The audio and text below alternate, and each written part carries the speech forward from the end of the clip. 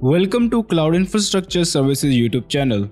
In this video, we are going to show you how you can set up a Redis server on Ubuntu hosted on Google Cloud Platform. So simply click the link in the description box to come to this marketplace listing and from here you want to create a new virtual machine with this particular image. Now this image already comes with a Redis CLI installed in it. So simply click on launch. After that, you would be brought to this page from where you can customize your virtual machine. So choose a deployment name and most importantly, choose the region or zone where you want your virtual machine to be deployed.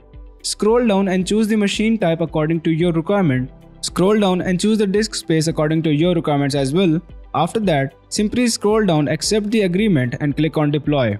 After that, you need to simply wait for the deployment process to complete.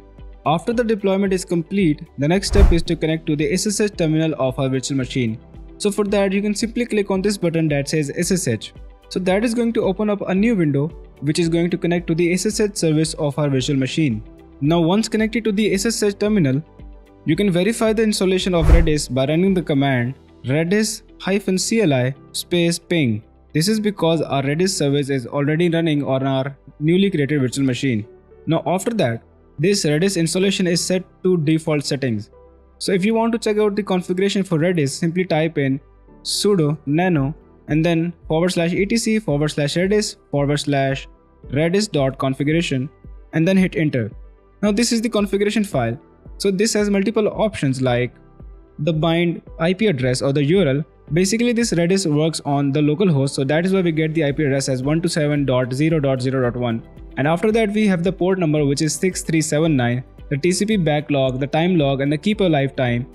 And one important feature or one important setting over here is the log file. Now if you want to log everything you can put a file name over here but you would have to create that file as well so just for an example, if I want my log file to exist at forward slash etc forward slash redis and then the name of the file would be redis log. After that I can simply do Ctrl O, hit enter Ctrl X. Now if you want to use the redis CLI, then you simply need to type in the command redis hyphen CLI and then hit enter. So that is going to open up the redis CLI. Now you can run commands like set let's say my key and my secret password. Hit enter and then you can fetch that as well by typing in get my key. So this means that our Redis is working perfectly. So that also brings us to the end of this video. Now if you have any queries regarding this tutorial, make sure to leave that query in the comment section down below.